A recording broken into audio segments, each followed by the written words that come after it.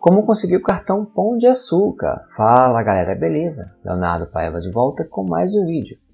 Nesse vídeo eu explico o pré-requisito, tá? Os pré-requisitos e como conseguir esse cartão do Pão de Açúcar.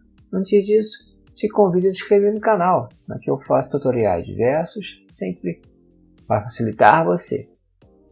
Então, galera, caso você queira adquirir, tá? Conseguir esse cartão do Pão de Açúcar, ele tem alguns pré-requisitos, tá bom, galera?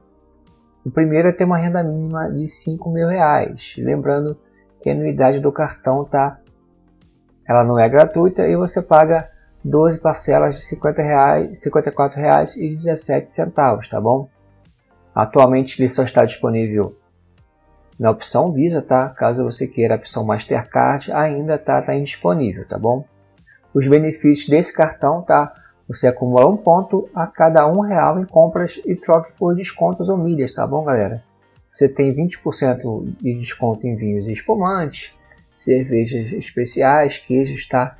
20% off também em marcas próprias. Também tem os benefícios de ter um cartão Itaú, tá? Vou deixar esse site no link da descrição para você conhecer os benefícios do cartão Itaú e também consultar esse contrato tá, desse cartão, tá bom?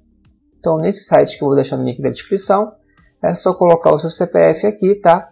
Para pedir esse cartão. Então, vai colocar os seus dados pessoais, tá? E vai preencher aqui um mini questionário. Lembrando que você autoriza, tá?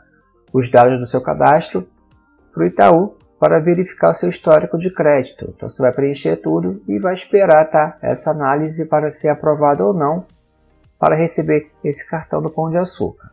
Conseguiu pedir o seu cartão? Já foi aprovado? Coloque aí embaixo nos comentários. Se inscreva no canal para mais vídeos tutoriais. Eu vou ficando por aqui. Grande abraço, fiquem com Deus. Valeu!